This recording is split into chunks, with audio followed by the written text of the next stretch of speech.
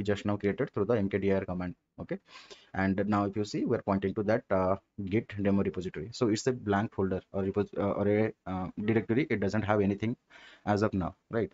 So now we are going to initialize a uh, git repository. We will mark this repository as a git repository. How to do that? So we have a command called git init.